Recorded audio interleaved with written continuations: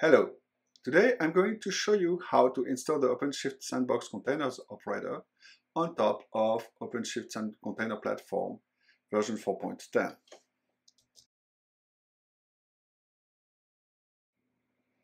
So I'm logged as administrator in the OpenShift console and I'm going to click on the operator hub. Let me type sandbox in the list filter and then I have the OpenShift Sandbox Containers operator. I click on that and I see a description of that operator.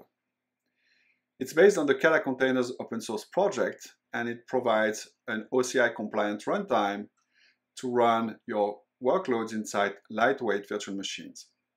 So they have their own isolated kernel and that adds an additional layer of isolation. There is additional documentation at the bottom of the page that describes the various concepts. In particular, a sandbox in a sandboxed containers environment corresponds to a pod in OpenShift.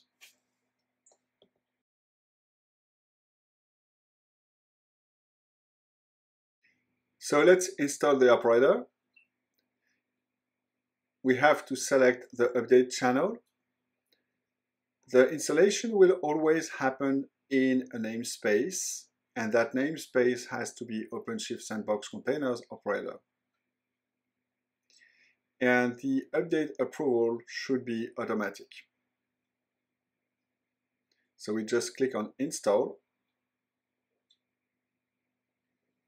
And as you can see, the installation is relatively quick.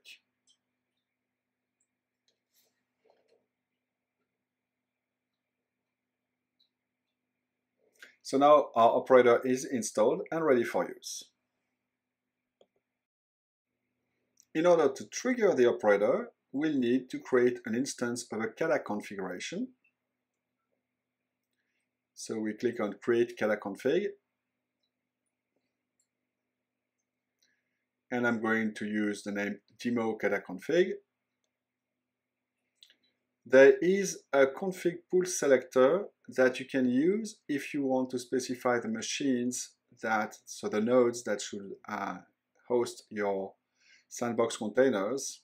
In my case, I'm going to leave that as is, which selects other nodes on my cluster. Now I click on create and my Kata config is created and applied. We can now watch our operator doing its work by clicking on this YAML tab. And we're going to see that the operator is in progress and a list of the nodes where the operator is currently installing the required binaries. We're going to shift to a terminal in order to be able to see what is happening. In this other terminal window, I'm going to watch the output of my demo Kata config. So we see that it's still in progress. And now since the installation is going to take a while, we are going to fast forward through time. Right now, it's installing in Worker 2, and that's the bottom window in that other terminal window. So we are going to watch that installation progress, and then the worker node is going to reboot. You can check the time it really takes by looking at the clock at the top right. So now our worker node is going to reboot, and that's the usual Linux boot. The reason we need to reboot the node is because uh, we are going to install a version of QEMU that is optimized for this use case called QEMU Kiwi. And that's going to let us run our virtual machines. So doing this software installation on Red Hat CoreOS requires a reboot. This is also the reason why we are updating one node at a time in order to preserve the cluster. You can do things in parallel, but then you're going to make your cluster less available for other workloads while this happens. So we are now done with worker 2 and the operator is going to add this to the completed worker uh, completed node list and start the installation now on worker 0. Installing on worker 0 works exactly like for worker 2, so we're going to fast forward through this until the point where this is marked as completed and the operator shifts to the last worker in my cluster, worker 1. So we're going to see that appear to the in progress list. And again, let's fast forward. So now the last node is rebooting and we are going to see that once the binaries have been installed on all workers and they are all marked as completed, the operator is going to install a runtime class called Kata. So this is done now, and my cluster is now ready to run sandbox containers.